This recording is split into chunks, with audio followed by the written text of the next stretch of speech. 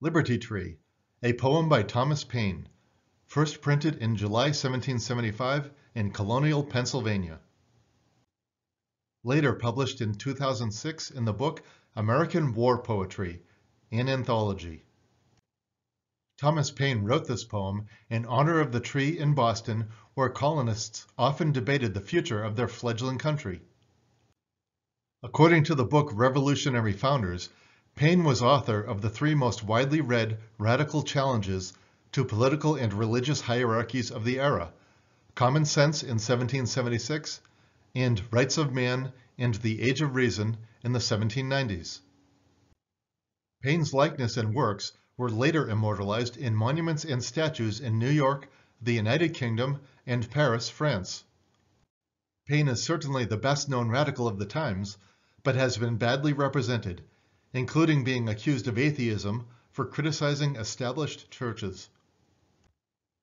Some of the Founding Fathers believed Paine's later views on government and religion were leading to a new and chaotic world. So what will Midjourney make of Thomas Paine's revolutionary poem? Let's find out.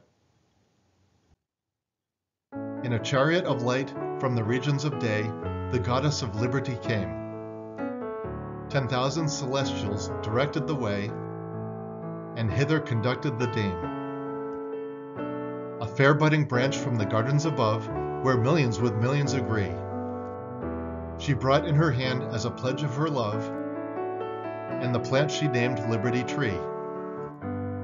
The celestial exotic struck deep in the ground, like a native it flourished and bore.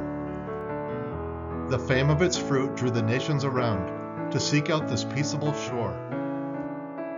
Unmindful of names or distinction they came, for freemen like brothers agree. With one spirit endued, they one friendship pursued, and their temple was Liberty Tree.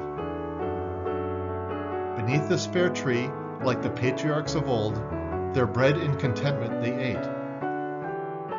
Unvexed with the troubles of silver and gold, the cares of the grand and the great.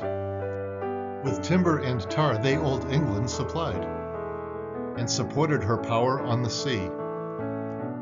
Her battles they fought without getting a groat, for the honor of Liberty Tree. But hear, O ye swains, tis a tale most profane, how all the tyrannical powers, kings, commons, and lords, are uniting amain to cut down this guardian of ours. From the east to the west blow the trumpet to arms. Through the land let the sound of it flee. Let the far and near all unite with a cheer in defense of our liberty tree. Thank you for watching. Please subscribe to this channel for new videos every week or two and see the description below for a list of books referenced in this video.